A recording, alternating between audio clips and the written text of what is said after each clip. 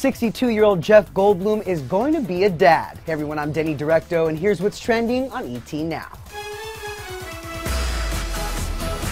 There she is.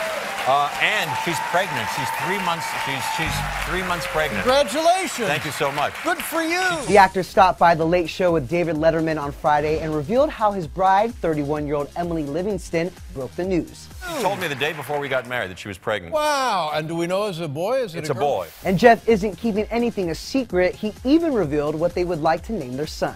We- Emilie we is picked her out name? a name, as a matter of fact. What, what's the name? Of the child? Yeah. Uh, if it stays, this is our current thinking. Elliot Charlie. Jeff's wife, Emilie, is a contortionist and Olympic gymnast and even showed off her flexibility while on The Late Show. The newlyweds attended the Golden Globes last night, and Emilie's baby bump was barely visible in a loose fitting white dress. While it's going to be an exciting year for them, keep checking back to ET Online for more on what's trending.